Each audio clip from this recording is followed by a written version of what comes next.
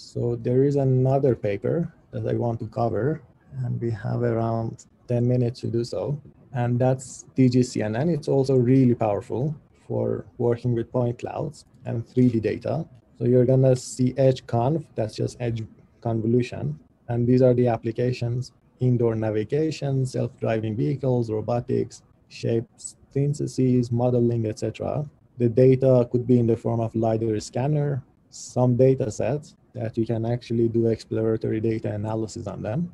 So we saw a lot of other data sets other than ImageNet in this course. Then there is edge convolution. Let's see what that is. We have a point cloud, and let's say each one of these points in your point cloud are f-dimensional. This could be XYZ coordinates, or they could be color, surface normal, etc. We are gonna create on the fly some dynamic graphs.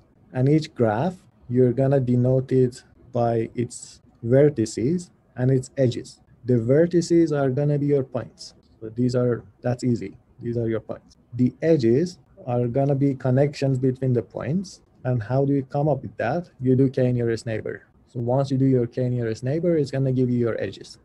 And in addition to k nearest neighbor, there is also a self loop. So each point is connected to itself. And we are gonna look at some edge features. So you're gonna have two points, xi and xj in your data set.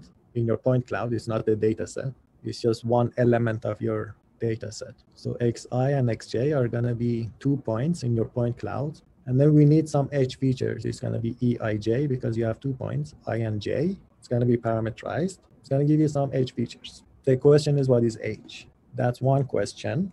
The other question is, how are you going to aggregate these features, these edge features that you're obtaining? And you have multiple options for this. You can have the summation or maximum for this operation. And let's see what we are doing. We want to know the value of our output at index i. We are gonna take as input our xi, it's a point in our point cloud, and then we know its neighborhood because of our edges. So this point is gonna be connected to, to some other points, and because we already constructed uh, our edges, we can do a summation or a maximum around that point. So it's very similar to convolution. Okay, it's local. You can have various choices for h and this square notation which is summation maximum or other options. If you want to have a standard convolution, you would have m filters. xj is a vector, theta m is a vector of the same size. Once you multiply them together, it's the dot product. Now you're doing a summation over neighborhood points around your index i, around your point i. And that's going to give you your features for the next layer. This is a standard convolution. For PointNet, the previous paper, our h of xi and xj was just a function of xi. And then in the end, you had a global average pooling over your points or global max pooling. For point CNN, it's a function of its neighbors, xj, and then uh, you're gonna have a Gaussian kernel. And a Gaussian kernel, we know that if you're very far from zero, the kernel is gonna go to zero. If you're around zero, it's gonna be a value of one and then you have a pairwise distance between your points. The further these two points are from each other, then they're gonna have less effect on each other. And that's gonna give you a method called point CNN. You can have another option. You look at your xj's in the coordinate of your xi's, and these are local information.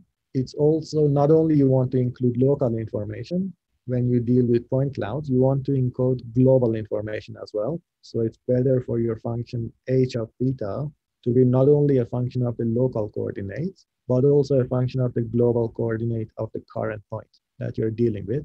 And in the end, the DGCNN paper, DGCNN method, is gonna include, it's gonna choose its h according to this function. You first multiply your xi by a vector then you can have m of them. It's similar to your convolution. And then it's not only a function of xi, the global information, but also a function of the local information, the distance of xj from xi. And that's going to give you your h features. And then in the end, you're just going to use max. So you're going to do a maximum pooling of the neighbors of the i, the ith point. And then why is it dynamic?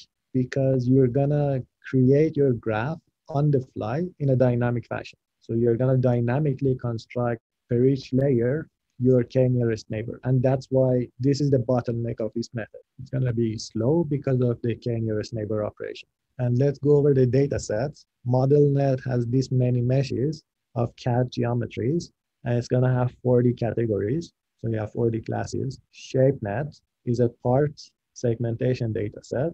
It has this many shapes. You're to have 16 object categories in total, and you're to have 50 parts for your annotation. Stanford large scale 3D indoor spaces dataset, S3DIS. It has 3D scan point clouds of six indoor areas. There are gonna be 272 rooms in total. And the semantic categories, there are 13 of them. And they're like board, book, bookcase, chair, ceiling, beam, and then plus clutter, objects, stuff. This is PointNet it's having some confusion between classes. This is DGCNN, and that's your ground truth. So it's a powerful method. The only bottleneck is dynamically constructing k nearest neighbor. And in terms of implementation, the way that you implement that is, let's say there are k neighbors for each point i. First, you create these edge cons, edge con features, and that's gonna have a dimension of your points. Then you have k neighbors, and then uh, each one is going to have a n for its features because you're going to take those points and push them through a bunch of MLP. That's how you're going to implement that. So these are just MLP. And then once this is done, the neighbors are computed. You do a pooling on the kth dimension, on the dimension corresponding to your to your neighbor. So it's very easy to implement this. Once you know your edges computed using k nearest neighbor, it's very easy to do the pooling and implement that. I guess I'm finishing right on time. I'll be around if you have any questions.